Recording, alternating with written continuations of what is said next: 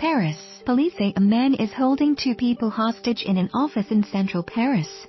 There is no indication of terrorist motives. A police operation is underway.